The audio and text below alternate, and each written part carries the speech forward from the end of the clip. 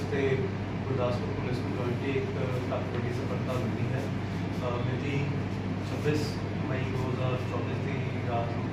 ਇੱਕ humming sound ਜਿਹੜਾ ਹੈ ਉਹ ਡਿਟੈਕਟ ਹੋਇਆ ਸੀ ਬੀਓਪੀ ਚੰਦੂ ਵਡਾਲਾ ਨੂੰ ਜਿੱਥੇ ਬੀਐਸਐਫ ਤੇ ਅਲਰਟ ਜਵਾਨ ਨੇ ਇਮੀਡੀਏਟਲੀ ਜੋ ਹੈ ਉਹ ਇਨਫੋਰਮੇਸ਼ਨ ਆ ਕੇ ਸ਼ੇਅਰ ਕੀਤੀ ਜਿਸ ਤੋਂ ਬਾਅਦ ਬੀਐਸਐਫ ਦੁਆਰਾ ਤਿੰਨ ਰਾਉਂਡ ਵੀ ਫਾਇਰ ਕੀਤੇ ਗਏ ਅ, ਉਸ ਤੋਂ ਬਾਅਦ ਇੱਕ ਜੁਆਇੰਟ ਸਰਚ ਆਪਰੇਸ਼ਨ ਕੀਤਾ ਗਿਆ ਜਿਹਦੇ ਵਿੱਚ ਸਾਨੂੰ ਇੱਕ ਕਾਫੀ ਵੱਡੀ ਮਾਤਰਾ ਦੇ ਵਿੱਚ ਰਿਕਵਰੀ ਹੋਈ ਹੈ ਜੋ ਸਸਪੈਕਟਡ ਹੈਰੋਇਨ ਲੱਗ ਰਹੀ ਹੈ ਅ, ਇਹ ਅਪਰੋਕਸੀਮੇਟਲੀ 10.645 kg ਹੈ ਔਰ ਇਸ ਤੋਂ ਫਰਦਰ ਡਿਵੈਲਪਮੈਂਟ ਕਰਦੇ ਹੋਏ ਅਸੀਂ ਹੋਰ ਵੀ ਸਰਚ ਆਪਰੇਸ਼ਨ ਕੀਤਾ ਜਿਸ ਦੇ ਵਿੱਚ ਸਾਨੂੰ ਇੱਕ ਡਰੋਨ ਹੈਲੀਕਾਪਟਰ ਜਿਹੜਾ ਉਹ ਵੀ ਰਿਕਵਰ ਹੋਇਆ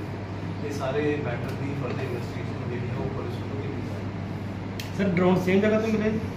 ਤੇ ਉਹ ਥੋੜੀ ਵੱਖਰੀ ਜਗ੍ਹਾ ਤੋਂ ਮਿਲੇ ਦੂਜੀ ਜਗ੍ਹਾ ਤੋਂ ਇਹ ਸਰ ਕੋਈ ਮਤਲਬ ਕੀਤਾ ਰੈਸਟ ਕੀਤਾ ਰੈਸਟ ਕੀਤਾ ਕਿਸੇ ਨੇ ਇਹਦੇ ਵਿੱਚ ਸਾਡੇ ਕੋਲ ਸਸਪੈਕਟਸ ਹੈਗੇ ਅਸੀਂ ਉਹਨਾਂ ਨੂੰ ਵੈਰੀਫਾਈ ਕਰ ਰਹੇ ਹਾਂ ਤੇ ਫਰਦਰ ਇਨਵੈਸਟੀਗੇਸ਼ਨ ਕਿਉਂਕਿ ਹਲੇ ਕੁਛ ਹੀ ਟਾਈਮ ਹੈ ਅਸੀਂ ਇਹਦੀ ਫਰਦਰ ਇਨਵੈਸਟੀਗੇਸ਼ਨ ਕਰ ਰਹੇ ਹਾਂ ਸਾਨੂੰ ਉਮੀਦ ਹੈ ਜਲਦੀ ਇਹ ਫੜੇ ਸਾਰੇ ਇੱਕ ਮੰਤਰੀ ਕੀਮਤ ਕਿੰਨੀ ਹੋਈ ਸਰ ਇਹ ਡਿਸਕਲੋਜ਼ ਨਹੀਂ ਕੀਤੀ ਜਾਂਦੀ ਕਿਉਂਕਿ ਠੀਕ ਠੀਕ। ਹੈ ਸਰ ਚੋਣਾਂ ਤਾਂ ਲੱਗ ਜਾ ਕੇ ਇੰਨੀ ਵੱਡੀ ਤਦਾਦ ਦੇ ਵਿੱਚ ਨਸ਼ਾ ਰਿਹਾ ਨਹੀਂ ਉਹੀ ਸਪੈਸ਼ਲੀ ਅਸੀਂ ਇਹ ਵੀ ਕਹਿਣਾ ਚਾਹੁੰਦੇ ਹਾਂ ਕਿ ਬਿਕੋਜ਼ ਚੋਣ ਜਾਬਤਾ ਚੱਲ ਰਿਹਾ ਅਸੀਂ ਕਿਤੇ ਨਾਕੇ ਵੀ ਲਾਏ ਨੇ। ਸਰਚ ਆਪਰੇਸ਼ਨ ਵੀ ਚੱਲ ਰਿਹਾ BSF is also on higher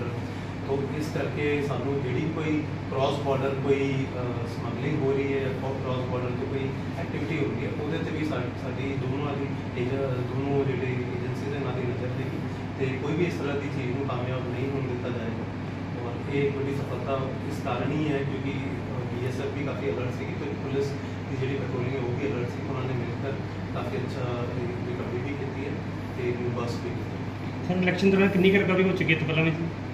ਇਸ ਤੋਂ ਪਹਿਲਾਂ ਵੀ ਵੱਖ ਵੱਖ ਮੁਕੱਦਮਿਆਂ ਦੇ ਵਿੱਚ ਅਸੀਂ ਰਿਕਵਰੀ ਕਰ ਚੁੱਕੇ ਹਾਂ। ਇੱਕ